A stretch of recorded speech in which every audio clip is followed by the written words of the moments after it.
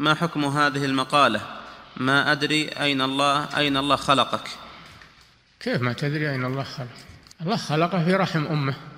الله خلقه في رحم أمه. يصوركم في الأرحام. كيف يشاء؟ إن كان يجحد هذه الآية ويقول الله ما يصور في الأرحام هذا كفر. ولا كل يدري أن الله خلقه في رحم أمه. نعم. أحسن الله إليكم صاحب الفضيلة. هذا لكن بعض الناس يقول هذه الكلمة من باب الغضب. من باب الغضب لا من باب الاعتقاد. يقولها من باب الغضب وهي خاطئة لا شك.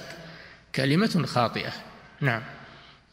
والآية الصريحة أيضا قوله تعالى يخلقكم في بطون أمهاتكم خلقا من بعد خلق الله يخلق الأجنة في بطون الأمهات.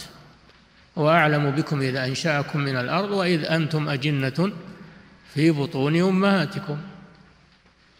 لكن بعض الناس يقول هذا من باب الغضب يقول أنت ما تدري وأن الله خالدك يقول كذا. من باب الغضب. نعم.